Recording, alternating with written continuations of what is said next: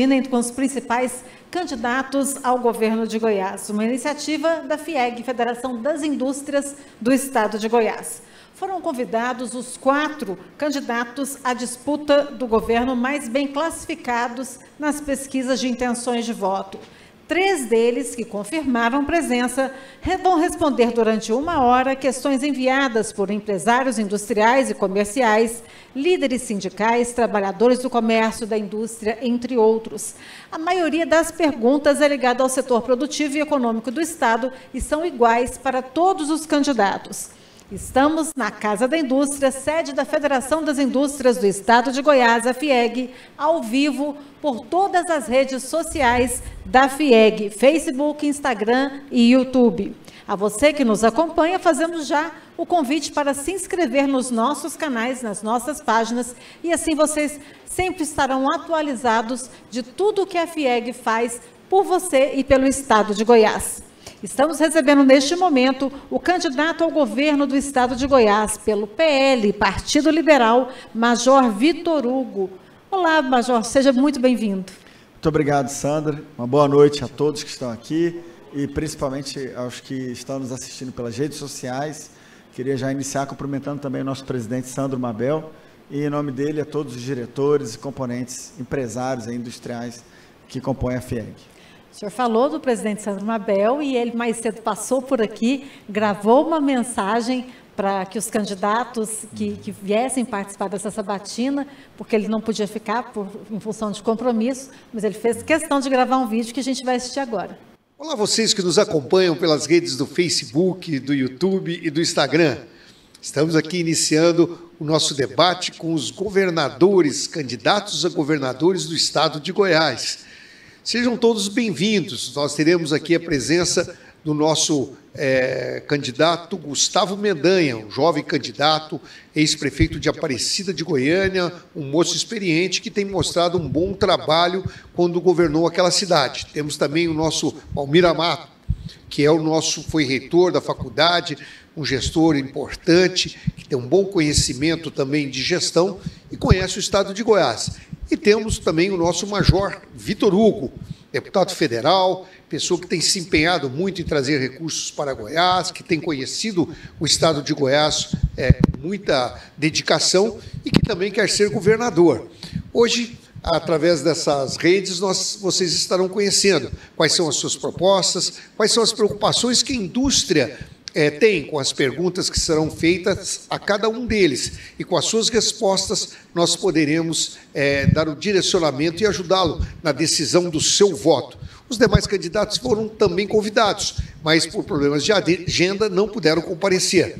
Eu espero que todos vocês tenham muito proveito é, nesta sabatina que estaremos fazendo com os candidatos e os candidatos a oportunidade de falar para o nosso povo da indústria, para os estudantes, para milhares de pessoas que estarão acessando as nossas redes e que também depois esse, é, é, essa sabatina estará é, depositada nas redes para outras pessoas que queiram ver, não só ao vivo. Portanto, candidatos, bom, é, boa entrevista para vocês, bom trabalho para todos vocês. Eu tenho certeza absoluta que vença o melhor. Muito obrigado pela presença. Obrigada ao presidente Sandro Mabel. E eu gostaria agora, candidato Major Vitor Hugo, que o senhor abrisse essa sabatina falando um pouquinho de quem é o senhor e por que, que o senhor quer ser candidato ao governo do estado de Goiás. Tá bom, Sandra. Bom, eu sou major da reserva do Exército Brasileiro, instituição em que eu permaneci ao longo de 21 anos. Sou advogado, formado na Universidade Federal do Rio de Janeiro, mas 80% do curso eu fiz aqui na Universidade Federal de Goiás. Quatro anos eu estudei aqui. Estou em Goiás já há 20 anos, Aqui eu me casei com uma napolina, que foi criada em Mineiros. Meu filho é goianiense. Servi no Comando de Operações Especiais é, aqui em Goiânia por quase 10 anos. É, morei em Lusiânia por 3 anos, no entorno de Brasília. E quero ser governador do estado de Goiás. Sou deputado federal hoje, porque esse meu mandato de deputado federal me permitiu conhecer ainda mais profundamente o estado e ver que nós temos grandes potenciais que não estão sendo aproveitados. É, infelizmente, o governo atual que não concordou em vir aqui na sabatina, isso demonstra até um desrespeito com o setor produtivo. Já é pelo menos o segundo ou terceiro evento que ele não participa, não participou do debate que já aconteceu no portal 6 UOL, que demonstrou uma grande, vamos dizer assim, desconsideração com a população goiana. E agora, mais uma vez, não só porque fechou o estado todo, fechou dificultou o trabalho da indústria, fechou o comércio, fechou as escolas, fechou as igrejas e agora não comparece né, numa sabatina que nada mais é do que a possibilidade de se dirigir ao setor produtivo e explicitar os planos de governo. Vendo essa abertura real, essa necessidade específica que o Estado de Goiás possui de ter um governador que trabalhe efetivamente para o desenvolvimento econômico e também para o desenvolvimento social, político do Estado, é que surgiu então essa vontade de me candidatar. Eu tenho apoio do presidente Bolsonaro, na verdade, eu sou o candidato do presidente em Goiás, temos o mesmo número, 22 para presidente, 22 para Major Vitor Hugo para o governo, e tenho certeza que essa amizade que eu tenho, sincera, real com o presidente, essa afinidade, essa proximidade, vão, é, isso vai fazer com que a gente é, consiga trazer muitos benefícios para Goiás. Eu tenho um plano de governo, nós fizemos um plano de governo ao longo de seis meses, Sandra. Construímos esse plano com mais de 60 especialistas, com reuniões semanais, construímos 16 eixos de atuação e temos certeza e convicção absoluta, com a amizade do presidente de um lado e o carinho que ele tem pelo povo goiano, um governador alinhado com ele e um plano de governo consistente, nós vamos fazer Goiás avançar de mãos dadas com o Brasil. Eu quero registrar aqui as presenças do nosso diretor regional do Senai, superintendente do SESI, Paulo Vargas, do superintendente da FIEG, Lener Rocha, do conselheiro do SESI, presidente do Condefesa, Anastácios Apóstolos Dajas, e do presidente do Sinveste, José Divino Arruda, que vieram prestigiar essa sabatina. Candidato, é, eu tenho aqui algumas perguntas é, que foram elaboradas pelo setor produtivo e, à medida que o senhor for respondendo, a gente vai, depois, no, ao final, deixar um tempo para o senhor fazer as considerações finais. Eu começo essa sabatina perguntando sobre economia e desenvolvimento. Goiás sempre foi protagonista no Centro-Oeste. Nos últimos anos, os nossos vizinhos reduziram essa diferença e, em alguns indicadores, até ultrapassaram o estado de Goiás. Como o senhor visualiza Goiás perder essa liderança econômica na região? O que, que pode ser feito para reverter essa situação no nosso estado e para devolver Goiás aos trilhos do desenvolvimento? É, Sandra, essa é uma situação realmente muito triste. Né? Ver que o governo atual não conseguiu destravar, não conseguiu continuar, não conseguiu aproveitar todo o potencial que Goiás tem. Foi exatamente na linha da minha fala inicial. Nós temos muitos potenciais em diversas áreas. O nosso plano de governo, que eu defendo com muita é, certeza, com muita convicção, dos 16 eixos, Anastácio, seis são voltados para o desenvolvimento econômico. E isso já demonstra a nossa, é, nossa dedicação, o nosso interesse, a nossa determinação em fazer com que Goiás seja efetivamente protagonista na região centro-oeste, não só na região centro-oeste, no Brasil. Eu vou falar de alguns potenciais aqui e, e tenho enfatizado no meu plano de governo, Sandra, é, quatro áreas específicas que do desenvolvimento econômico que têm um potencial, uma vocação natural do Estado. Então, a primeira, e eu aprendi muito isso com o Dr. Baltazar, com Anastácio, com Sóstenes, com a, especificamente com com defesa que é muito vinculado, que é aqui a FIEG, mas está muito baseado na CIA, né, na Associação Comercial Industrial de Anápolis, o Estado de Goiás tem um potencial quase que ilimitado para desenvolver a nossa indústria de defesa. E a indústria de defesa no Brasil tem o potencial, e em Goiás, até na mesma ordem de grandeza, se não maior do que o agronegócio. Então veja que Israel é, em função da indústria de defesa, tem mais ou menos a mesma população de Goiás, em torno de 7 milhões de habitantes, sendo que nós temos uma área muito maior. E nós temos projetos estratégicos das Forças Armadas aqui, que são bilionários. É a União aqui no estado de Goiás querendo gastar bilhões de reais, querendo fomentar o desenvolvimento econômico, e simplesmente a gente não consegue porque o governo do estado não tem sensibilidade, não tem planejamento, não tem visão de futuro. Então, os projetos estratégicos, só em Anápolis tem dois bilionários, o KC-390 e o novo caça da Força Aérea, o Gripen. E Anápolis, para eu falar de Anápolis, tem que falar meia hora aqui, porque o potencial de Anápolis é imenso na área logística e na área da defesa. Mas nós temos também em Formosa a artilharia de mísseis e foguetes com Astros 2020, uma das maiores e mais poderosas artilharias do hemisfério sul do planeta, abaixo da linha do Equador. Temos aqui em Goiânia o Comando de Operações Especiais e temos aí espalhado pelo território goiano unidades de infantaria mecanizada do Exército que usa o Guarani, que também é um projeto bilionário do Exército. Então, nós temos projetos estratégicos do Exército, dois do Exército e dois da Força Aérea. E aí eu faço a pergunta: onde está a indústria de defesa voltada para fazer a manutenção desses equipamentos, para fazer o suprimento de peças e de reposição, para fazer a manutenção dos softwares de simulação ou mesmo de combate desses equipamentos que são bilionários. Então nós vamos sim incentivar a indústria de defesa. Anápolis, em particular, tem a capacidade de ser para Goiás e para o Brasil aquilo que Gavião Peixoto e São José dos Campos são para São Paulo e para o Brasil, com polo aeronáutico, com polo de defesa. Cada avião, cada KC-390 são 500 milhões de reais. Né? Os caças são a tecnologia mais de ponta que nós temos aí, junto né, Embraer, junto com a Saab. Então, assim, nós temos toda a capacidade aqui de avançar, um pouquinho só de incentivo, um pouquinho de planejamento. Temos aí a área da mineração, e aí poderíamos falar de muitos aspectos, é, desde o do ouro, do manganês, do nióbio. Eu sempre tenho falado muito do quartzo, porque me permite falar do entorno sul do Distrito Federal, da cidade cristalina, que tem lá milhões e milhões de toneladas, Sandra, já licenciadas, tanto a licença mineral quanto a licença ambiental, prontas para ser explorado. E os empreendedores lá corretamente falaram: oh, não quero mais vender pedrinha de aquário. Uma tonelada de pedrinha de aquário, 250 reais. Uma tonelada do quartzo, do silício purificado no grau solar, para fazer células fotovoltaicas, 250 mil reais. Mil vezes mais. Então eles não querem mais vender pedrinha de aquário, estão corretos.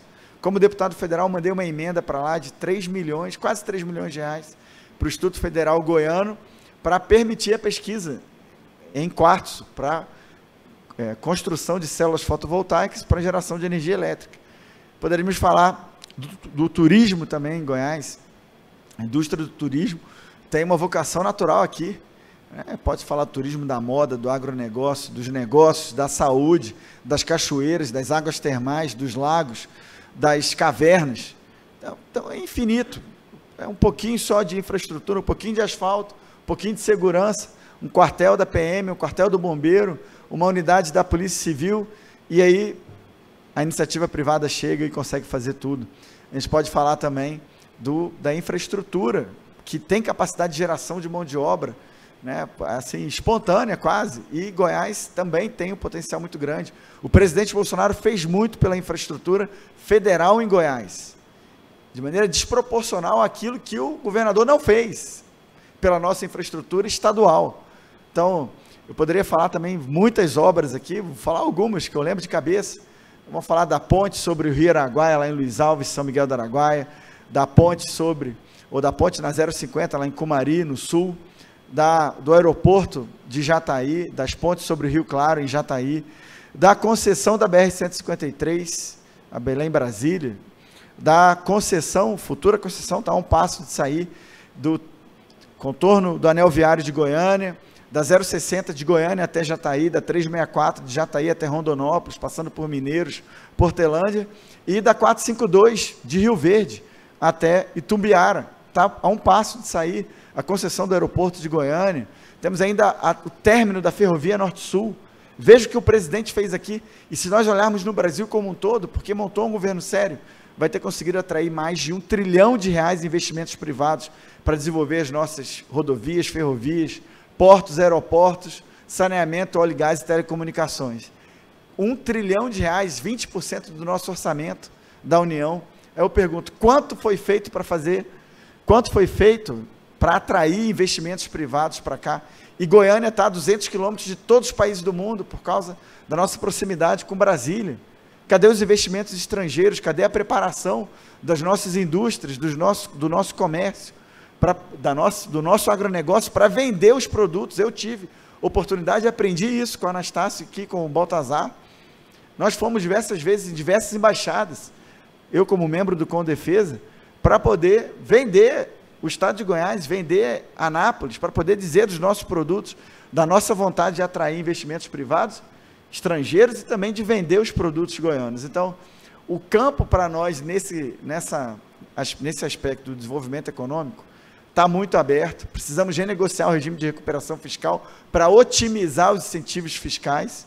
Nós sabemos da dependência momentânea nesse, nesse, nessa fase do nosso desenvolvimento né, da, dos incentivos fiscais e vamos trabalhar dessa forma. E um governador próximo do presidente vai ter condições de renegociar e de garantir incentivos para que a nossa indústria se desenvolva. O senhor falou agora é, na necessidade de atração dessas indústrias, né, de fomentar indústrias de desenvolvimento de armas, de, de armamento.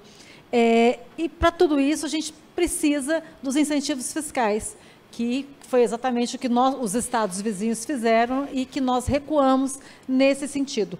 Portanto, qual será a sua posição em relação a esses benefícios fiscais já concedidos pelo Estado? E ainda, qual a posição do senhor em relação aos projetos da reforma tributária em tramitação no Congresso? Pretende defender a manutenção da tributação na origem ou sistema misto?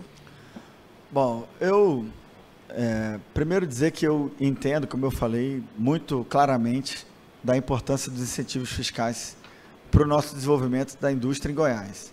Nós chegamos até aqui com incentivos fiscais, com planejamento, com apoio à, indústria que quisesse ser instalada aqui. E nos últimos anos temos perdido não só é, a indústria em si, algumas indústrias saindo do Estado, como também algumas indústrias que permanecem no Estado têm transferido suas máquinas para outro para outros estados, porque as condições são melhores lá. Então, aproveito para saudar o meu amigo aqui, o senador Vanderlan, que chega agora, que é membro, vamos dizer assim, de honra aqui da FIEG, por ser um grande industrial. Tem sido um professor meu aí, não só na política, mas também no que diz respeito ao desenvolvimento econômico do Estado. E já é, adianto, sim, que a nossa pretensão, a nossa determinação é renegociar o regime de recuperação fiscal e a proximidade com o presidente vai nos ajudar a ter um acesso ampliado, a ter um acesso no nível da confiança. Né? Nós temos muita coisa para fazer, inclusive para oferecer em troca de uma renegociação. É um absurdo o atual governador ter separado 225 milhões de reais, 108 milhões esse ano e 117 milhões o ano que vem, para fazer propaganda oficial do governo. Então, se você adere ao regime de recuperação fiscal, é porque você está admitindo que as contas do Estado têm algum problema. Você só adere se você quiser ajuda da União. E nesse sentido, você tem que fazer um esforço para retomar o trilho correto da, do equilíbrio fiscal. Agora, a pergunta que eu faço é: como? Com que justificativa? E eu faria essa pergunta se o governador atual tivesse tido coragem de aparecer no debate lá no portal 6 UOL, e espero que até o final desse pleito eleitoral ele apareça em algum debate, para perguntar para ele, para dar oportunidade para que ele se justifique para a população goiana de por que separar 225 milhões de reais para fazer propaganda oficial do governo, quando nós temos estradas para serem terminadas, hospitais para serem concluídos e equipados, se nós temos é, escolas para serem terminadas, se nós temos subsídios fiscais para serem ampliados, sim, para trazer. Então, esse é um, é um compromisso meu de lutar, primeiro, para renegociar o regime de recuperação fiscal e, segundo, para otimizar e ampliar os incentivos fiscais e diminuir os impostos. E aí eu entro na reforma tributária. Nós, é, nessa legislatura, nós conseguimos aprovar uma reforma da Previdência, com o voto do nosso senador Vanderlan, com a minha articulação na Câmara como deputado federal e líder do governo Bolsonaro na Câmara, mas infelizmente não conseguimos aprovar uma reforma administrativa e uma reforma tributária. São complexos, são esforços políticos também. E a pandemia atrapalhou muito também isso. É lógico, nós tínhamos que nos voltar especificamente para salvar vidas e para salvar os empregos dos brasileiros. E fizemos isso ao lado do nosso presidente, guiado pelo presidente Bolsonaro de uma maneira muito eficaz. Só que ficou para trás uma reforma tributária. Imagino que isso vai ser conduzido aí na próxima legislatura, no, quando eu for governador do estado de Goiás, e vou ter ao nosso lado aí o senador Vanderlan, se Deus permitir, o senador Wilder Moraes, e vamos, é, junto com a bancada federal goiana, até o presidente Bolsonaro, até a equipe econômica, para argumentar que outros estados talvez não precisem de incentivos fiscais mais para se desenvolver, mas Goiás precisa. E essa abertura nós só teremos um governador que seja próximo do presidente. O governador atual ele fechou as portas de comunicação com o presidente voluntariamente. Quando ele disse que o presidente prescrevia cloroquina na porta dos palácios, quando ele disse que na vida e na política a ignorância não é virtude. Então ele chamou o presidente de ignorante. Quando ele levou o Mandetta para dentro do Palácio das Esmeraldas, para dar uma entrevista para o Fantástico, quando ele disse que as ordens do presidente contra a Covid-19 não seriam cumpridas dentro dos limites goianos, Capel. Então ele se afastou, ele quis se afastar. E nós não, nós mantivemos o nosso nossa trilha de lealdade, comprometimento, e isso vai fazer com que Goiás avance. Então, mesmo durante a discussão de uma reforma tributária, que tem vários modelos, várias discussões, tem vários aspectos, mas temos certeza que os incentivos fiscais serão discutidos, nós teremos uma posição muito firme para defender Goiás. E tenho certeza absoluta que aquilo que o presidente Bolsonaro puder fazer por nós, pelo Estado, assim como já fez, mandou nessa, nesse mandato, Sandra, 72 bilhões de reais para Goiás. Só do auxílio emergencial foram 12 bilhões, que ajudaram 2,3 milhões de goianos, 54% da população goiana, das famílias goianas atingidas positivamente pelo auxílio emergencial, que eu ajudei a aprovar, aliás, eu que propus esse valor para o presidente. Então, podem ter certeza, independente de qual seja a solução encontrada, e isso vai ser papel do Congresso Nacional, é, encontrar uma solução, é uma PEC que não vai à sanção do presidente, os governadores não votam, mas podem interferir sim, podem colaborar. A nossa intenção é, junto com a bancada goiana, é, influenciar o processo legislativo para garantir os incentivos fiscais para Goiás. Eu tenho aqui uma pergunta do presidente do Sinvest, José Divino Arruda. Ele diz o seguinte: Goiás hoje tem o melhor incentivo fiscal do setor do vestuário do país, criado no governo Alcides. O senhor pretende, num eventual mandato, manter esse, esse, esse programa? Sim, pretendo manter, presidente. E junto com o senhor, nós vamos conversar, junto com o Vanderlan, junto com a nossa bancada, nós vamos estudar meios para ampliar, inclusive.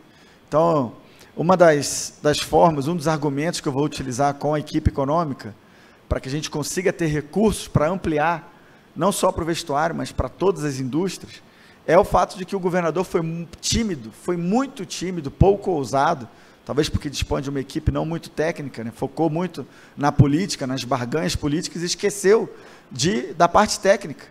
E aí, com isso, foi muito tímido quando chegou, Freitas, na né, a solução para Saneago, por exemplo. Então, o presidente Bolsonaro, e esse vai ser um argumento meu com a equipe econômica, para que a gente consiga destravar, a equipe econômica tem uma visão liberal e quer sim privatizar ativos da infraestrutura. Nós temos em Goiás um, um, dois gargalos muito fortes para o desenvolvimento da indústria aqui, que é o acesso à água e que é a energia. E outros estados já conseguiram fazer, aproveitar aquilo que o Congresso Nacional, junto com o presidente é, dispôs para o país, que foi uma segurança jurídica potencializada pela aprovação de vários marcos legais, como o marco legal das ferrovias, o marco legal da cabotagem, o novo marco legal do câmbio, novo marco legal das licitações e o novo marco legal do saneamento em particular. Então, eu quero chegar lá para o ministro da Economia e dizer: ó, nós vamos aderir ao novo marco legal do saneamento, vamos além do que o Caiado prometeu, que foi arrecadar até 2024 pouco mais de um bilhão de reais, vendendo 49% das ações da Saniago. Queremos ir além disso, queremos aderir completamente, fazer como Alagoas, Espírito Santo, Rio de Janeiro, Amapá fizeram. E Alagoas, eu sempre cito, é um, é um case de sucesso porque vão ter conseguido atrair 9 bilhões de reais de investimentos privados, 4,5 só de outorga é dinheiro na conta, no cofre. Imagina Goiás recebendo 4,5 bilhões de reais livres para fazer o que nós quisermos em prol do saneamento, ou em prol da educação, da saúde, ou da atração de novas empresas e indústrias. E outros 4,5 bilhões de investimentos no saneamento pela concessionária. Então foram três blocos, teve um, bloco, um bloco em particular, três blocos de 70 cidades, um milhão de habitantes. Teve um bloco em particular, João Paulo, que a, a concessionária, o modelo do BNDES, Vanderlan, apontava que eles se satisfariam, estariam satisfeitos se a outorga fosse de 2 milhões, 2 milhões de reais. A concessionária que ganhou, com tanto medo de não ter acesso, ofereceu 2,6 bilhões de reais de outorga. Então, por isso que eu falei que ao todo foram 4,5, porque eram três blocos. Então é isso que nós queremos fazer. Eu fui lá no BNDES, eu fui no, na Secretaria do Tesouro Nacional para perguntar por que, que, o governador tinha feito isso aqui, por que, que ele não aderiu, por que, que ele está sendo tímido, por que, que ele está querendo arrecadar só um bilhão até 2024. Será que não tem viabilidade econômica em Goiás? Será que não tem interesse da iniciativa privada? E a resposta dos técnicos do BNDES, do Tesouro Nacional, era o contrário era que aqui, se Alagoas conseguiu atrair 9 bilhões, nós poderíamos atrair muito mais. E alguém falou para mim hoje, numa entrevista que estava dando, pô, mas você tem certeza? A Saniago já faz um papel tão bacana, aqui e tal, tem uma cobertura muito grande. Eu falei, é, você já conversou com o pessoal de Anápolis para saber? Você já conversou com o pessoal de Caldas Novas? Você já foi lá em Bacupari, uma comunidade quilombola nos arredores de Posse? 100 famílias, 80 crianças, sem água. Se eu não tivesse levado um caminhão-pipa, por emenda parlamentar, essas 80 crianças estavam sem água até hoje.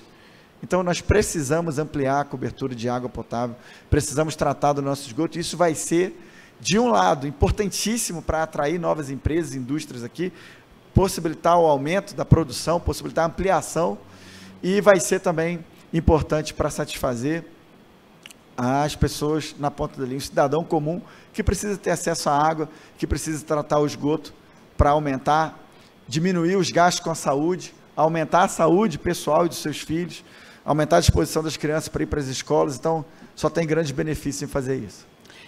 Candidato, o senhor já registrou, mas eu faço questão de registrar a presença do senador Vanderlan Cardoso aqui na nossa sabatina. É, o senhor agora há pouco falou dessa lógica do quartzo, né, de agregar valor à mercadoria. E a mesma lógica para a industrialização de grãos.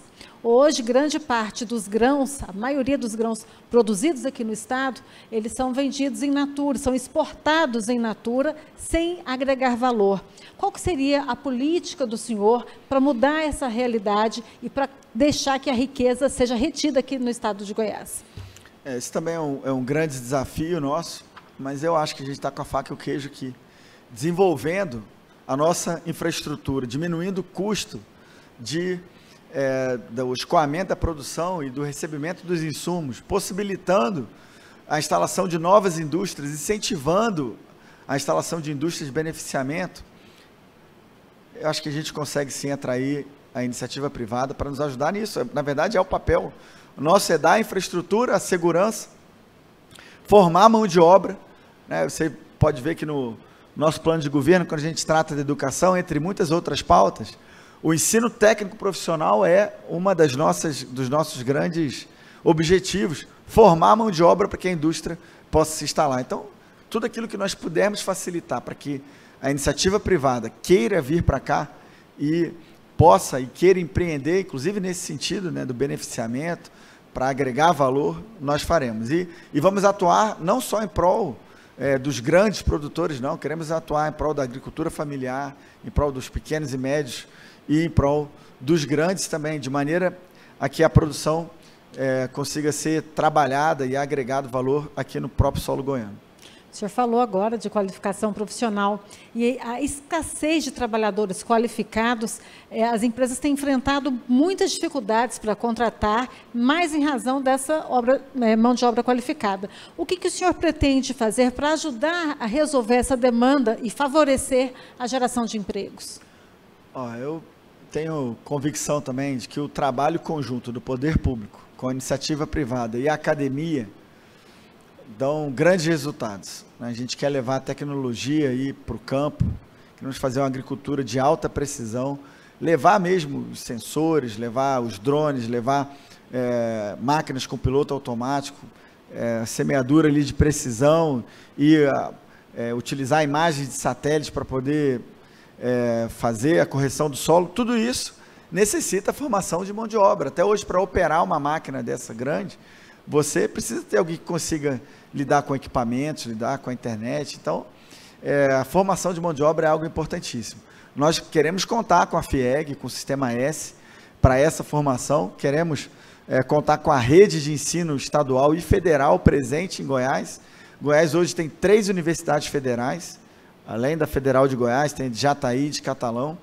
Nós temos dois institutos federais, o Goiás e o Goiano. Temos a UEG, que nós queremos ajudar. A UEG, nesse governo, né, definhou, acho que havia um plano específico, talvez, né, uma intenção, pelo menos, de prejudicar a, a Universidade Estadual de Goiás, não só pela desvalorização dos professores, mas também pela desativação de cursos e pela bom, né, o distanciamento, afastamento dos alunos, e nós queremos fazer justamente o contrário. Então, nós queremos incentivar a criação de cursos tecnológicos né, no ensino médio e também no ensino superior. Queremos unir. Eu sou o presidente da Frente Parlamentar em apoio ao desenvolvimento dos parques tecnológicos, uma frente parlamentar mista. Eu sou o presidente, o senador Vanderlan, o vice-presidente. Uma frente nacional, congrega mais de 200 parlamentares federais. E se a gente conseguiu fazer isso, né, fomentar o desenvolvimento tecnológico como deputado federal, que tem um pincel pequenininho, tenho certeza que né, com a caneta aí, a BIC do governador, a gente vai conseguir fazer muito mais nesse sentido, né? ajudar os parques tecnológicos que já existem, incentivar os estudantes a fazer ciência, fazer tecnologia e a terem uma profissão já no ensino médio. Acho que isso que é, que é o grande é, vetor nosso de atuação. Né? Pegar as escolas goianas, além de ampliar os colégios militares, que é uma intenção nossa, é criar cursos profissionalizantes em cada região do estado de Goiás, de acordo com a sua vocação natural. Então, nós vamos estudar cada região. Então, Anápolis, indústria farmacêutica, indústria de defesa, indústria aeronáutica, são o que salta os olhos. Cristalina, mineração, agronegócio. Então, cada região tem uma, tem uma vocação e nós queremos direcionar o ensino técnico fomentado, estimulado pelo Estado, mas em parceria com a iniciativa privada em cada uma das regiões. O senhor também ressaltou a questão da, da diferença de realidades né, nos diversos, nas diversas regiões do Estado, que é a desconcentração do desenvolvimento. É, Goiás cresce, porém regionalizado. Quais são suas propostas para apoiar o desenvolvimento econômico e social nas regiões Norte e Nordeste, por exemplo, né, carentes em infraestrutura, e como tornar essas regiões protagonistas do próprio desenvolvimento sem depender dessas ajudas pontuais? Então, esse é um, é um dos grandes desafios nossos, né? E a gente contemplou isso na, no nosso plano de governo com um objetivo voltado para diminuir ou exterminar, mas trabalhar para diminuir o máximo possível a desigualdade regional aqui. Né? Um, algumas ações que eu vou falar é, dizem respeito a isso. Por exemplo, nós vamos criar uma secretaria especial do entorno do Distrito Federal. É uma região extremamente esquecida. Eu morei lá, graves problemas de, na área da saúde, na área da segurança, na área do transporte, na área do desenvolvimento econômico, na área da educação. Então, uma secretaria especial que seja transversal a todas as outras, é uma secretaria especial para o sucesso da qual todas as demais vão trabalhar. Uma secretaria especial que tenha uma sala reservada para ela no Palácio Pedro Ludovico, para que o secretário possa despachar comigo diretamente todos os dias. Nós vamos criar essa secretaria especial para o entorno, uma secretaria especial para a inclusão e uma secretaria especial também do programa de parcerias de investimentos. Mas então nós vamos tratar cada região de acordo com a sua vocação. O entorno de Brasília vai ter uma secretaria especial, porque nós temos ali é, quase um milhão de pessoas que se sentem completamente abandonadas, é muito distante de Goiânia, o Distrito Federal está de costa para eles. Então, e vamos fazer isso também com o Norte e Nordeste. Nós vamos criar uma secretaria especial, vamos recriar a Secretaria de Desenvolvimento Regional para manter um link com o Ministério de Desenvolvimento Regional e vamos trazer as políticas públicas do governo federal para cá. Vamos, eu acho que existe uma vocação natural para o turismo, por exemplo, lá em São Domingos Cavalcante, por causa do Parque Nacional de Terra Ronca. Né? Nós temos uma vocação natural para mineração, e aí vamos precisar muito do apoio da Assembleia Legislativa para, às vezes, mudar os limites de alguma área de proteção, que é, muitas vezes as áreas de proteção são feitas exatamente em cima de onde se tem a maior quantidade de minério, e a gente não sabe se isso foi feito de maneira proposital, até para dificultar o desenvolvimento econômico. Nós queremos proteger sim o ambiente e vamos proteger. Queremos fortalecer os órgãos de fiscalização ambiental, mas nós não podemos também deixar de desenvolver economicamente o Estado e, e deixar as pessoas à míngua de empregos e de renda por uma visão ainda tímida em relação aos avanços que nós podemos. Então, o Norte e o Nordeste tem goianos, né, tem grandes potenciais, principalmente no turismo, na mineração. Eu acho que com um pouquinho de segurança, de asfalto, um pouquinho de saúde e muita vontade do governo, determinação e planejamento, a gente consegue fazer avançar. Candidato, o senhor já citou Anápolis várias vezes aqui, é casado com uma napolina, e eu quero perguntar para o senhor agora a respeito do DAIA. A Codego, a Companhia de Desenvolvimento Econômico de Goiás, sucedeu a Goiás Industrial com novas atribuições e com viés de melhorar essas questões atinentes aos distritos industriais. É, só que, contudo, grande parte desses distritos enfrentam grandes problemas de infraestrutura, é, problemas de falta d'água, saneamento, energia. É, de que forma que o senhor pensa em administrar ou pretende privatizar, entregar para alguma associação, entidades de classe que possam administrar uh, esses distritos industriais da melhor maneira? Bom, são os desafios que, em parte, eu abordei aqui. Né? A energia, a água são os grandes gargalos. A otimização, a identificação e o apoio para os empreendedores né, nos distritos agroindustriais é algo importantíssimo. Anápolis, né, algum tempo atrás, criou o DAIA e hoje é uma potência, mas que tem perdido impulso por causa da falta de atenção, da grande burocracia que nós temos hoje para concessão de subsídio, até para doação de um terreno. Hoje é extremamente burocrático, tem empresas muitas indústrias querendo vir e não conseguem ter acesso aí a um apoio, a uma ajuda, porque tudo se tornou burocrático. Nós queremos ao contrário, nós queremos facilitar tudo. Se algum empreendedor quer vir para Goiás, ou se aqueles que já estão em Goiás querem investir mais aqui, querem prosperar mais aqui, o Estado tem que dar graças a Deus. Nós temos que ajudar essa, essa pessoa, porque ela está colocando o CPF dela para criar um CNPJ ou alguns CNPJs, sob o risco e, e conta própria para gerar emprego para outras pessoas, para aumentar a nossa arrecadação. Então eu vou trabalhar com o setor produtivo como parceiro. Vamos ter diálogo. Não, pode ser que a gente não concorde sempre. É difícil governar, decisões difíceis terão que ser tomadas, mas eu não vou fazer de maneira desleal. Eu vou fazer, nós vamos trabalhar juntos, vamos tentar encontrar soluções juntos. Eu vou mostrar a situação do Estado, vamos mostrar, ó, nós temos essas alternativas. Temos muita coisa para fazer em diversas áreas temos que desenvolver economicamente o Estado. Me ajuda, é o que nós vamos fazer. Nós queremos montar um governo dos melhores, essa expressão que nós estamos é, utilizando. Ah, o PL, que é o meu partido, está indo para essa luta, para essa empreitada, sem nenhum outro partido, justamente para que eu tenha liberdade de montar um governo que seja técnico, um governo em que eu vou chegar para a indústria aqui, para a FIEG, para outras entidades, e falar, ó, bom, eu preciso escolher um secretário ou uma secretária de Desenvolvimento Econômico, uma secretário, um secretário de Indústria e Comércio. Então, me ajuda. Vamos escolher o melhor nome, uma pessoa que consiga congregar e dirimir os conflitos de interesse que são naturais da democracia, conflitos legítimos de interesse. Então, vamos pegar o melhor, ou a melhor, não importa se é alto, se é baixo, se é negro, se é branco, se é homem ou se é mulher, nós queremos os melhores. Quem é o melhor médico, quem é o melhor engenheiro, quem é o melhor professor, que é o melhor administrador. Esse, essas pessoas nós vamos trazer, com isso nós vamos retomar a credibilidade do Estado de Goiás, a credibilidade dos, do governo do Estado de Goiás, e a partir de, da, daí a consequência é a atração de investimentos privados. Então a disposição de caminhar de mãos dadas aí com o setor produtivo é total. Nós não vamos fechar o comércio, não vamos fechar a indústria, não vamos fechar as escolas, não vamos fechar as igrejas. Vamos trabalhar de mãos dadas. Recebi uma pergunta agora do Paulo Vargas, nosso superintendente do SESI, diretor regional do SENAI. É, candidato Major Vitor Hugo, o senhor como governador, como o senhor faria parcerias? Compraria quantitativo de vagas para cursos de qualificação, cursos técnicos para serem distribuídos a, a, a pessoas jovens e adultos que, após a conclusão dos cursos, iriam servir à indústria de Goiás, que é uma prática já habitual em estados como Mato Grosso? Bom, eu acho que é uma, uma política muito válida. Acho que é algo não, não é complexo de se construir.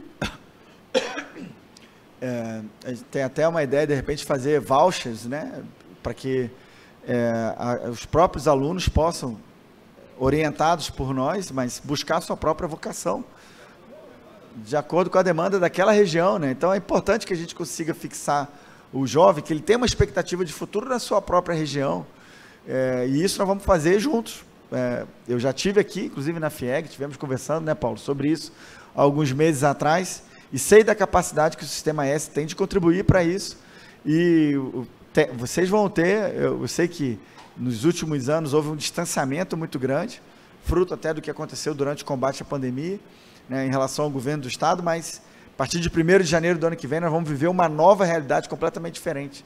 A forma como eu enxergo, a forma como o nosso presidente enxerga né, a economia, o setor produtivo, é uma forma de reverência, na verdade. Nós é, admiramos quem empreende, quem prospera. E queremos que quanto mais jovens tenham vocês, o setor produtivo como referência, como pô, a gente quer que todos os jovens é, sonhem um dia em serem grandes empresários, grandes industriais, é, que sejam grandes comerciantes, para que possam gerar emprego, para que possam gerar riqueza. Então, acho que essa é uma ideia muito válida, muito bacana. Não acho que seja difícil de ser implementado e vai contribuir para a formação de mão de obra aqui no estado de Goiás. Estamos ao vivo na Sabatina Eleições 2022 da FIEG, ouvindo candidatos a governo de Goiás, eh, todas as redes sociais da FIEG, Instagram, Facebook e YouTube, para vocês poderem assistir e depois também rever, caso queiram, porque essas entrevistas vão estar disponíveis em todas as nossas plataformas. Candidato, o senhor falou de, de empreendedorismo, né? E a gente sabe que 30% do eh, que as microempresas são responsáveis por 30% do PIB nacional e representam 99% das empresas formais do país. Depois da pandemia, elas sofreram bastante, continuam sofrendo, estão tentando se reerguer, mas elas dependem de, de incentivo, de uma política de acesso a crédito. De que forma que o senhor pretende, no eventual governo, é, facilitar a vida, a sobrevivência dessas empresas? Ó, oh, Sandra, eu, na nossa visão, a facilitação ao crédito para o pequeno e microempreendedor é uma medida lógica, é uma medida necessária. Eu sempre comparo com o que o presidente Bolsonaro fez no nível nacional, porque ele acertou muito na área econômica.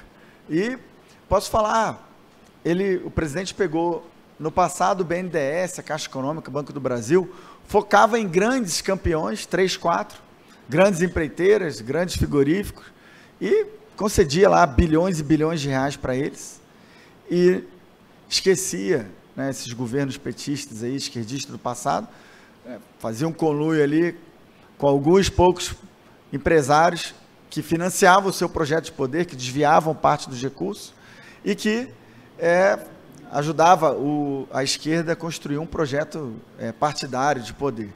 E o presidente Bolsonaro quebrou essa lógica, né? não, não tirou critérios políticos para concessão do crédito, são critérios técnicos, são é, pequenos e médios empreendedores recebendo crédito, o microcrédito, a Caixa Econômica organizou isso, né? às vezes 5, 10, 15 mil reais, muda completamente a vida de um pequeno empreendedor que está com um salão de beleza, que tem é, uma pequena loja, que tem uma pequena confecção. Então, nós queremos fazer isso também, democratizar o acesso ao crédito, facilitar para o micro e pequeno empreendedor.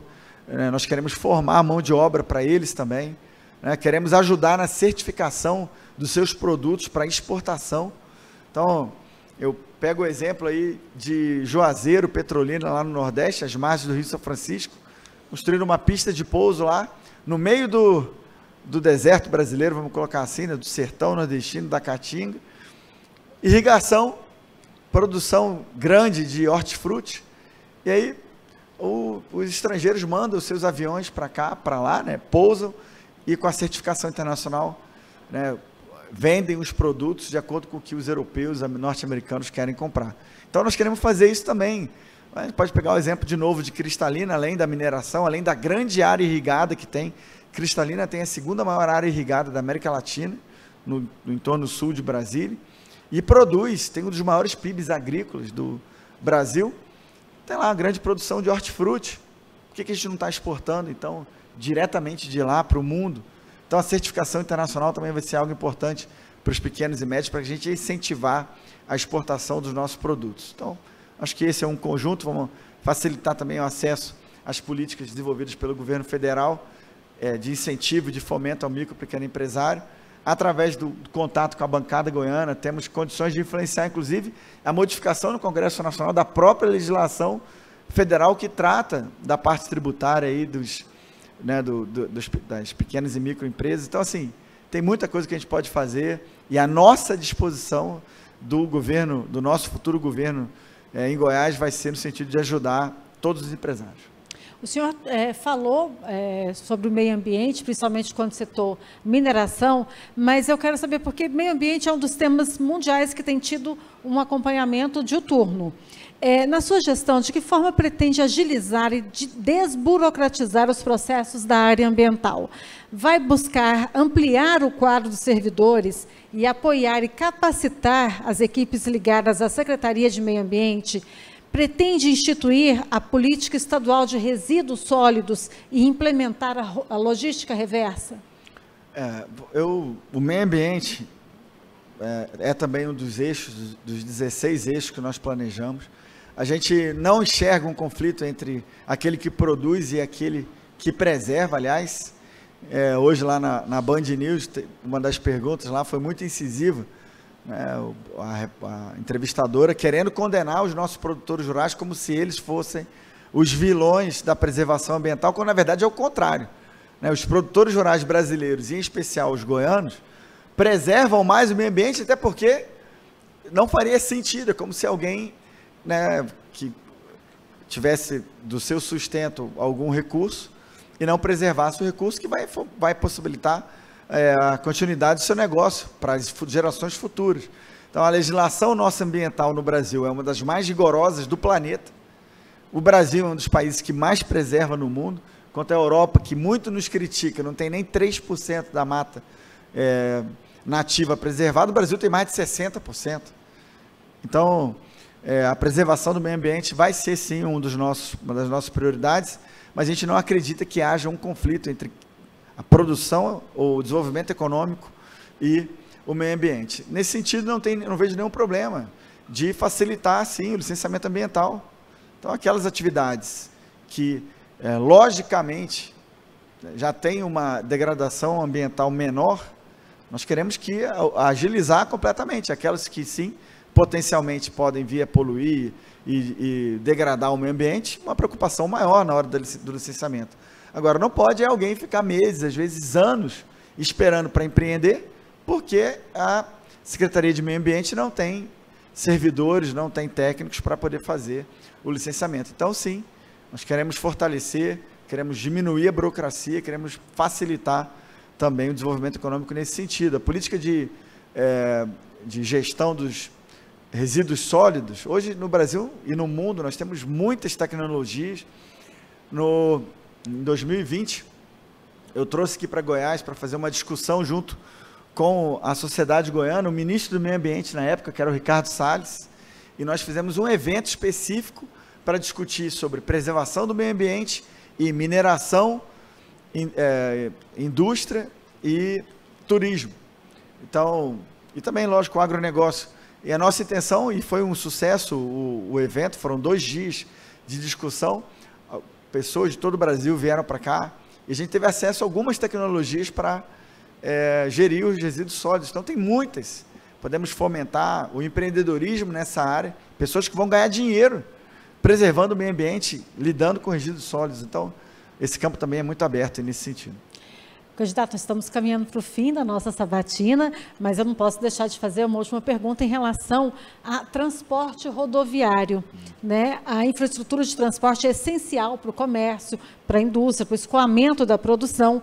A gente sabe e a imprensa sempre mostra rodovias estaduais em situação bastante precária.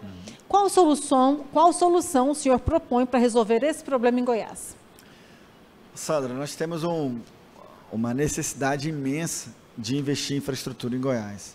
No começo da minha fala, eu estava dizendo tudo que o presidente Bolsonaro fez e a capacidade que ele teve de atrair quase ou mais de um trilhão de reais para investir na nossa infraestrutura. E isso porque ele montou um governo técnico. Então nós queremos fazer isso também, montar um governo técnico, retomar a credibilidade do governo do estado de Goiás e do estado em si, para que a gente consiga ter iniciativa privada como a nossa parceira nisso. Né? Infelizmente, a capacidade de investimento do Estado para resolver por si só os problemas da nossa infraestrutura é mínima. A gente não tem condições de fazer como todos nós gostaríamos, à exceção do governador atual, porque colocou 225 milhões de reais para fazer propaganda oficial do governo e não está interessado em cuidar das nossas estradas. Mas nós temos interesse. Nós temos, todos os anos, já sabemos que a chuva vai chegar no norte e nordeste goiano, como chegou no ano passado. E vai chegar de novo agora. Quantas estradas foram duplicadas, pavimentadas, mantidas? Então, o que nós queremos fazer é montar um governo sério, ir até o BNDES, interagir com a Secretaria de Tesouro Nacional, interagir com a nossa iniciativa privada aqui em Goiás, interagir com os investidores estrangeiros e fazer com que a iniciativa privada nos ajude, nos apoie e ganhe dinheiro também, desenvolvendo a nossa infraestrutura.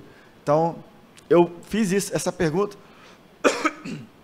Conversei na época com o ministro Tarcísio, que é um grande amigo meu.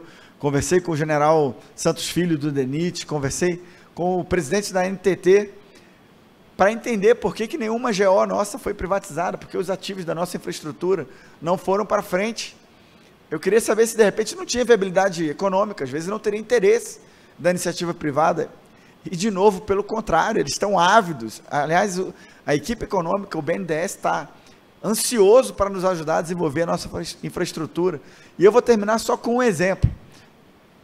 Que não tem a ver com o transporte rodoviário, mas tem a ver com o transporte de modo geral ou com a infraestrutura. E vou falar de Anápolis. Eu tive na Secretaria Nacional de Aviação semana passada, porque esse sabatinado nascia, e queria ter uma resposta. E nós, quantas vezes nós discutimos lá o aeroporto de cargas? E essa é uma ferida que Goiás tem, é uma ferida que Anápolis tem, que precisa ser curada. Vanderlan, são 3 quilômetros de pista, 400 milhões de reais investidos. E não funciona. E está na mão do governo do Estado há três anos e meio e não tem uma solução. Eu fui lá para o secretário nacional para perguntar para ele, Costa, tem saída? É complicado fazer? O que que falta? Para é surpresa o secretário nacional de aviação. Abriu lá um plano e falou, Vitor Hugo, são 3 quilômetros de pista, 1.900 metros, quase 2 mil metros, quase dois terços. A gente consegue homologar em seis meses. Eu falei, pô, mas deve ser um investimento muito grande. Ele falou, não, eu pensei, ele vai falar uns 200 milhões, 300 milhões, 15 milhões de reais de investimento. Eu, como deputado federal, trouxe 324 milhões de reais de emendas parlamentares. Até o final do ano serão 350. Hoje, já contempla 185 municípios. Até o final do ano eu vou contemplar todos os municípios. 246 municípios serão contemplados pelas minhas emendas. E o governador separou 225 milhões para fazer propaganda oficial do governo. Se ele pegasse menos de 10% disso e empregasse em Anápolis, nós teríamos dois terços da pista funcionando. Daria para pousar um Boeing 737-800. Daria para fazer a conexão com Campinas, de Campinas para o mundo. Então, eu garanto para vocês, em um ano, nós vamos ter dois terços da pista do aeroporto de cargas de Anápolis funcionando. Ao longo desse trabalho, que é uma cerca de 9 quilômetros, é uma pintura, sinalização da pista e equipamentos para o voo noturno. É isso, 15 milhões de reais. Seis meses de trabalho, mas vamos colocar um ano por segurança. Ao longo desse ano, nós vamos também estruturar, vamos modelar a concessão para que no segundo ano a gente conceda. E aí a empresa que assumir vai terminar o outro terço que falta. E aí com isso a gente vai ter o, o aeroporto de cargas em Anápolis funcionando, vamos poder desenvolver a indústria aeronáutica, a indústria de defesa. Então o que falta é vontade. E vontade, pode ter certeza. O nosso grupo não é Vitor Hugo somente, é um grupo de pessoas. Vanderlan, Wilder, o nosso grupo de deputados federais, o nosso grupo de deputados estaduais. O presidente Bolsonaro atesta nos, nos liderando. Nós vamos conseguir fazer com que Goiás avance cada vez mais. Se for a minha última fala, eu quero pedir o voto, hein? É a minha última fala? O senhor tem cinco minutos para encerrar a sua, a sua fala e expor alguma coisa que ainda não tem exposto e pedir o voto, se for o caso. Não, é o caso. Bom, eu, eu quero então agradecer a FIEG é, por essa oportunidade aqui. Essa é a quinta sabatina de hoje, de seis. Ainda vou ter mais uma sabatina agora, é, daqui a pouco. Mas esse contato com o setor produtivo ele é imprescindível, ele é, ele é excepcional. E nós estamos fazendo isso agora. Eu tenho aprendido na política que às vezes o processo ele é educativo para o exercício da função futura. O processo em si de chegar até o governo do estado de Goiás, de interagir, é por isso que eu critico a ausência do governador, isso demonstra uma arrogância dele, isso demonstra que ele, como se ele soubesse de tudo, não precisa interagir com os setores do, da sociedade goiana. Então, para mim, tem sido espetacular esse contato. Não só as perguntas, os questionamentos, que faz parte da democracia, que se coloque em xeque, sim, aqueles que querem assumir cargos tão relevantes quanto o de governador de Goiás, que vai cuidar da vida de 7 milhões de goianos, que vai cuidar do, de uma das 27 unidades federativas do nosso país. Então, imagine, é um cargo muito excepcional, é um em 7 milhões. E Deus colocou esse, essa vontade no meu coração. O presidente Bolsonaro topou esse desafio. Nós conseguimos alianças é, excepcionais que viabilizam e que vão nos ajudar muito à frente quando nós estivermos no governo. Imagina ter um senador como Vanderlan, um senador como Wilder Moraes, lá no Senado, trabalhando de maneira engrasada conosco, de maneira coordenada, para atrair investimentos, para modificar, às vezes, a legislação federal em prol do Estado de Goiás, para ter uma conversa de pé de ouvido com o presidente. Então, um governador que seja como eu sou, amigo do presidente Bolsonaro, próximo, não é uma união eleitoreira, não acordei bolsonarista agora, meia hora atrás. Eu sempre defendi as mesmas pautas. Sou contra a ideologia de gênero, sou contra o aborto, sou contra a liberação das drogas, sou a favor da facilitação do acesso às armas, sou a favor da, do liberalismo econômico. Então, o que eu puder fazer para desenvolver o Estado de Goiás, nós vamos fazer juntos. Então, eu aproveito agora para terminar faça o pedido do voto aqui, primeiro para o presidente Bolsonaro. Acho que o nosso principal objetivo, Sandra, esse ano é reeleger o nosso presidente, que é um homem sério, patriota, cristão, honesto, que tem enfrentado grandes dificuldades de todos os lados, de todas as direções, mas que tem sido obstinado, obcecado por proteger o cidadão brasileiro na sua liberdade e por desenvolver o nosso país. Então, eu peço primeiramente o voto 22, Jair Messias Bolsonaro reeleito. E, já que você vai apertar o 22, aperta o 22 também para o governo, é o mesmo número, nós somos do mesmo partido, e eu tenho apoio do presidente Bolsonaro. Digita 22 lá, Major Vitor Hugo, para governador do estado de Goiás, e apoia também o nosso senador, Wilder Moraes, 222. É isso. Um grande abraço e parabéns à FIEG por essa iniciativa e muito obrigado por essa oportunidade. Obrigada, candidato.